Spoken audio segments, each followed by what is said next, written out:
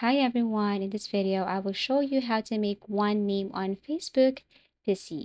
So first log into your account and then tap your profile at the top right corner. Here you have to click settings and privacy, tap this one and then click settings.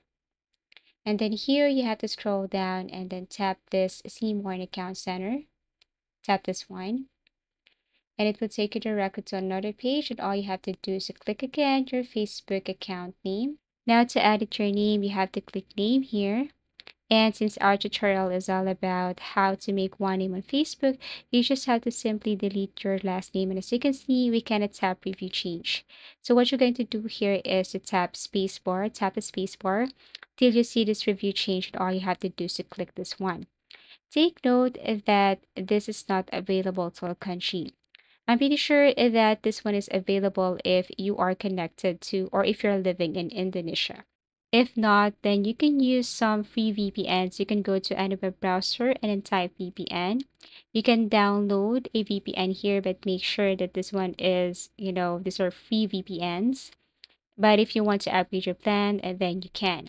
So you can search for VPN here, or you can search a specific VPN let's just say Indonesia VPN, and then download or sign in or create an account and then connect your VPN to Indonesia.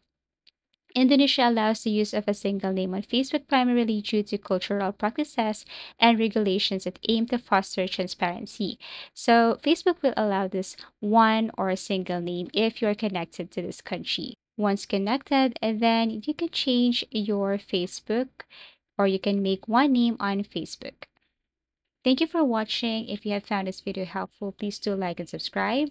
If you want us to create another tutorial, please do comment down below. See you again in our next video tutorials.